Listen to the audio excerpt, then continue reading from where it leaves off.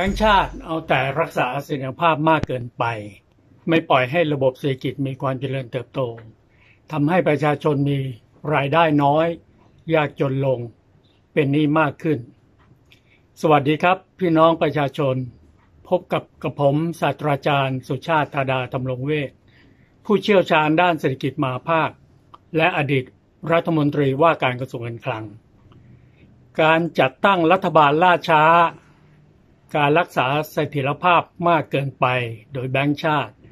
ทำให้เศรษฐกิจมีความเจริญเติบโตต่ำ เป็นผลให้ประชาชนมีรายได้น้อยลง ยากจนลง และเป็นหนี้มากขึ้น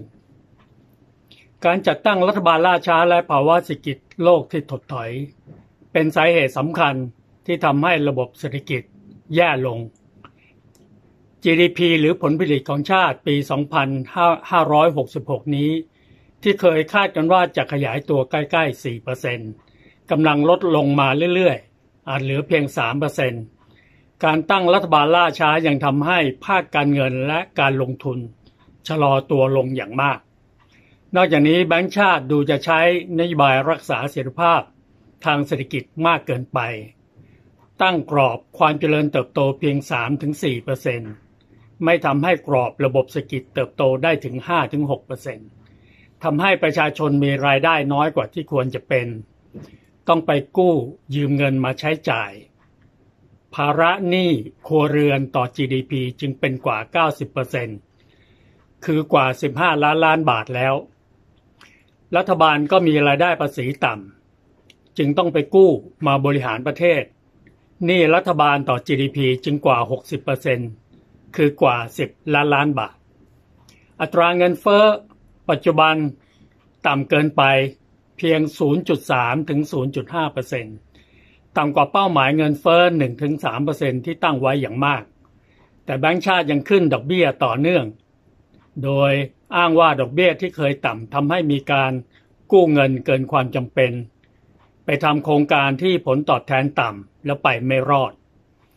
ปริมาณเงินที่น้อยเกินไปทำให้ก่อเงินเฟ้อต่ำเกินไป ทำให้ระบบเศรษฐกิจเติบโตต่ำจึงทำให้การจ้างงานลดลง และขอยังทำให้อัตราแลกเปลี่ยน คือค่าเงินบาทแข็งค่าเกินไปด้วย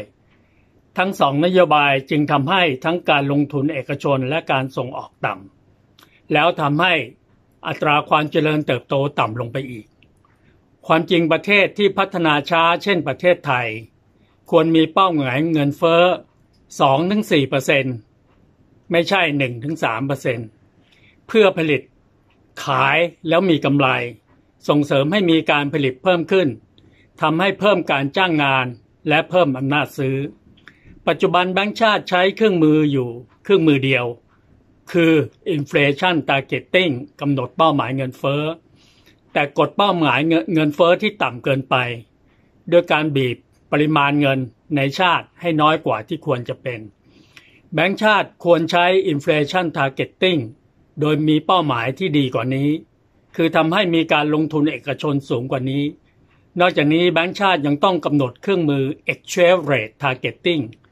ให้การส่งออกแข่งขันได้ดีกว่านี้ด้วย ขณะนี้ประเทศไทยยังไม่มี และไม่ใช้เครื่องมือ exchange rate targeting ความจริงเครื่องมือที่กำหนด อัตราความเติบโตของประเทศ เป็นส่วนใหญ่ คือนโยบายอัตราดอกเบี้ย และนโยบายอัตราแลกเปลี่ยน เมื่อกำหนดไม่ถูกต้องเหมาะสม อัตราความเจริญเติบโตหรือ GDP growth จึงต่ำภาษีที่ได้ก็ต่ำไปด้วย งบประมาณประจำปีของรัฐบาลจึงมีน้อยรายจ่ายรัฐบาลจึงเป็นเพียงการกระจายเงินของรัฐ ที่มีอยู่จำกัดมาก ๆ ว่าใครจะได้อะไรเมื่อไหร่ ไม่เพียงพอต่อการลงทุนของรัฐ เพื่อสร้างฐานะทางเศรษฐกิจของประเทศ ให้เจริญเติบโตในอัตราสูงได้ในระยะยาว กับผมสุชาติธาดาทองลงเวศศาสตราจารย์ทางด้านเศรษฐศาสตร์มหาภาค และอดีตรัฐมนตรีว่าการกระทรวงการคลัง สวัสดีครับ ดูคลิปจบแล้วนะครับ อย่าลืมกดติดตาม และสมัครสมาชิก YouTube มัติชนทีวีโดยการสแกน QR Code ด้วยนะครับ